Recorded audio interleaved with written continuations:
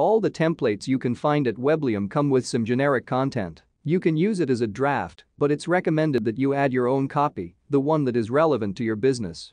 In this video, we'll show how to replace and edit texts on the templates. To replace the default text on the template, select it, press delete, and type in your own. Now let's see what else you can do.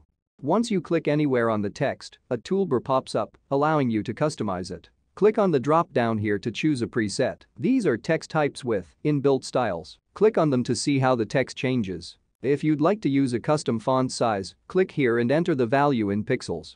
Next, try adjusting the text formatting by clicking on the bold, italic, underlined options. However, try not to overuse these settings to keep the copy readable.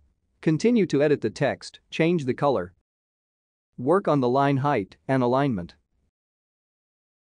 Enable the bullet list for better text structure or add links to make the words clickable. Finally, you may notice that in some text presets, there are special SEO settings hidden under the gear icon.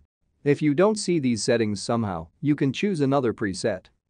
Anyway, the SEO settings allow you to add the H1, H2, H3 tags which help search engines like Google read the page content easily if you are looking for a way to change the site fonts and the style of these presets, head straight to the general site style by clicking on the three dots here.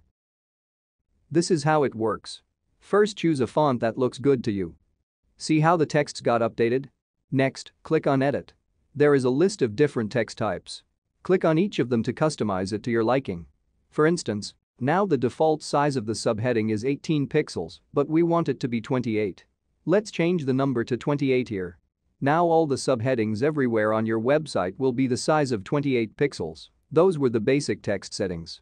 Remember that all the content throughout the template can be customized, so make sure you add the copy that works best for your business.